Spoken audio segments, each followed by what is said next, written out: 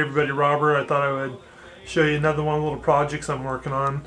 I actually bought a used Focus EP400 from a friend of mine for about 25 bucks. He didn't like the plane anymore. Just decided, actually I don't think he ever even flew it.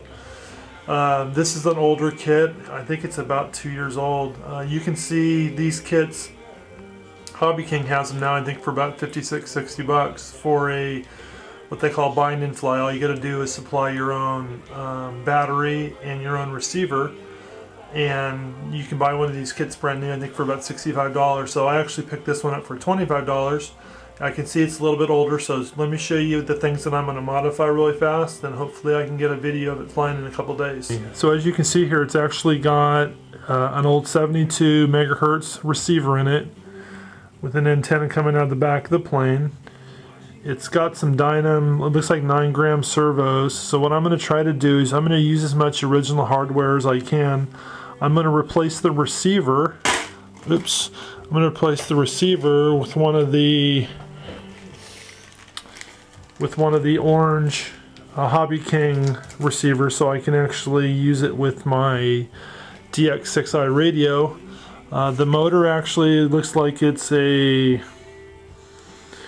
Tower Pro, like a 240812 or something like that. So motor looks okay. I might strip off all the um, decals and things like that. I'm not sure yet. Um, what I'm trying to first do is just rebuild the plane and see if I can get it to fly. And then if it does fly okay, I might do some modifications and change the paint job. So anyways, that's a little project I'm working on here. The plane does look like it's pretty good intact. Uh, all the servos and stuff on it. So what I'm going to do is uh, put a receiver in it, hook a battery up to it, check all the control surfaces.